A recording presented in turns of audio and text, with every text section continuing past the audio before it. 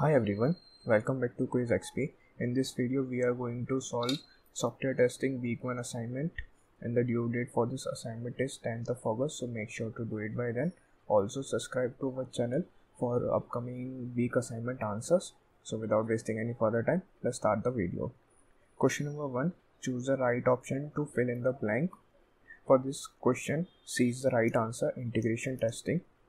Question number 2.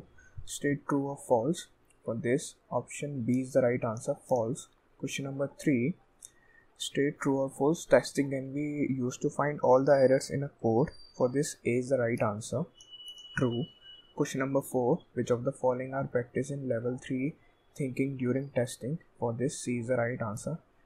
Before moving forward, I would like to add if there are any change in answers, we'll update on our Telegram channel. The link is in the description. You can join our Telegram channel. We we give updates regarding NPTEL assignments, internship for the college student. So check the link in the description. Make sure to join our Telegram channel for further updates.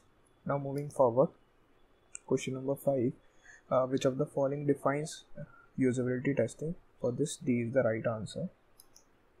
Question number six: C is the right answer. Unit testing and integration testing. Question number seven: As per the lecture, which of the following sentence best define the test case? For this, B is the right answer. Question number 8 When do we say that this set of test case T satisfy the test requirement for this? D is the right answer. Question number 9 When do we say the co coverage criterion C1 subsumes coverage criterion C2? For this, B is the right answer. Question number 10 For this, B is the right answer. Make sure to join our Telegram channel for further updates.